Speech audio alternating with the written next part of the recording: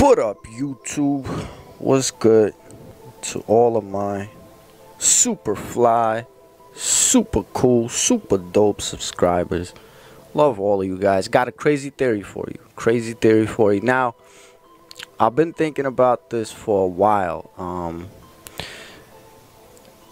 although I do gotta say, it's not only my theory. I have heard this before. I have read this before. Um, I'm even gonna give you a couple of sources, even though these sources you're not gonna be able to find in English, but still, I'm gonna give you those sources.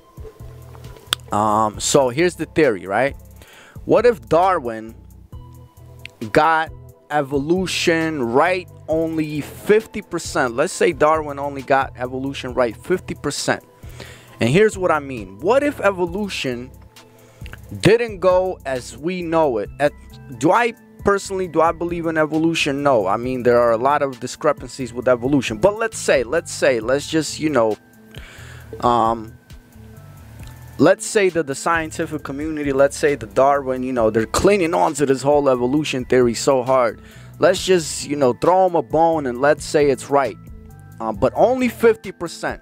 And here's what I mean. So let's say that instead of evolution going from, you know, as we know it, from the aquatic life, you know, then going on to the land, you know, walking upright, um, so on and so forth, you know, to the chimps and and and and then the upright humans and now we're sort of you know they're saying that we're sort of reaching you know going to ai or whatever that's the next. But let's say that evolution actually went backwards. And here's what i mean. And again there are stories uh, you know there are stories about this. You can uh, if you want you can look into a book a hindu book called mahabharata or even the Slavic Vedas. Yes, there is such a thing as Slavic Vedas. That's actually the most original of all original books. Uh, the Indian Vedas actually came from the Slavic Vedas.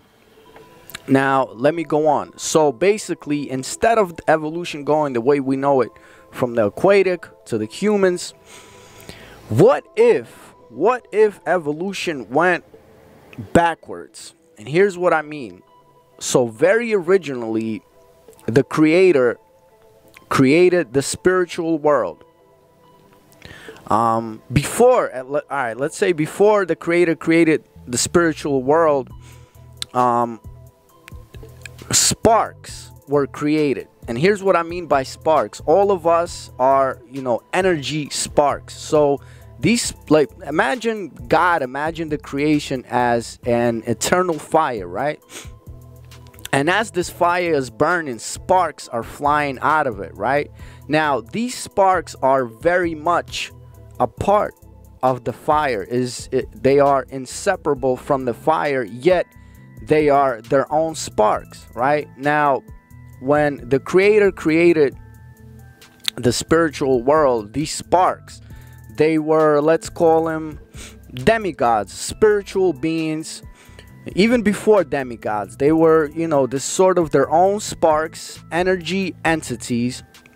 So we were all yes i will say we were all because we were all once a part of it. We were all hanging out in the spiritual world. And then some of the sparks said well you know what? We kind of want a new experience. We want to learn something else. And then the creator says well why don't we create a material world. But, but, before you could just go on and, you know, play in your material world and get all these different experiences, there are going to be laws. Rules, if you will, universal laws and rules. And one of it being the major one, the most major one, karma as we know it. So basically, you can't just go into the material world and do whatever the hell you want and not get any repercussions from it. When you go into the material world, if you don't follow the universal law, you will fall. Like, you know, like in a game, you will go down the levels and you're going to have to get back up. So, we entered the material world as demigods.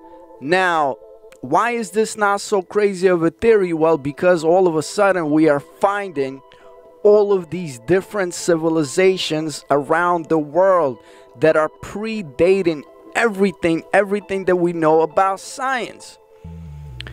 And they they are spread all around the world. They're, they're not making any sense. Sciences cannot explain anything. Again, if you were going to go back to the book of Mahabharata, they're talking about a a war among between gods that happened thousands and thousands and thousands of years ago.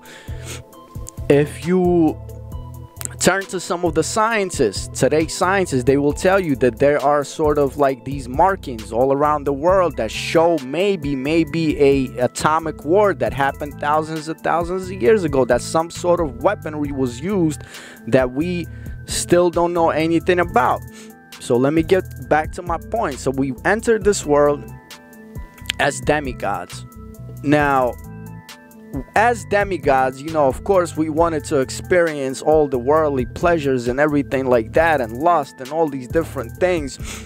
So, all of a sudden, entered the universal laws of karma. So, the more we kept indulging, the more we kept falling. So, from the demigods, we went to the humans. Now, what's the next step from the humans? Obviously, we have something in the Slavic language called Abizyana. Ab is Yana. Yana is soul. So basically, and and Abizyana is obviously a monkey, right? So if if you were to um, translate the word completely, the etymology of the word, you would understand that Abizyana, a monkey, is actually a man without the soul. So as we fell from the demigods to humans, obviously we kept indulging some more. Karma came in even harder.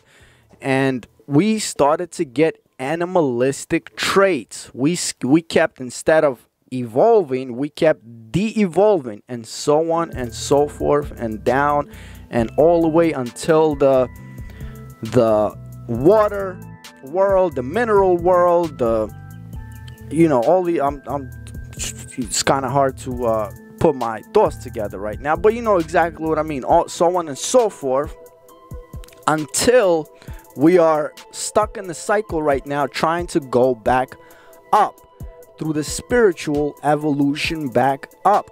but obviously, I'm not only talking about the spiritual, I'm talking about the actual physical de evolution from the demigods, from the sparks, uh, from the godly sparks to the demigods, to the humans, to the monkeys, and so on and so forth where we again we are stuck right now not knowing who we are what we are what we are doing trying to get back up to our godly nature. Hence the term falling from the grace of god.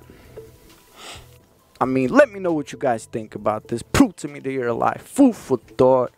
Uno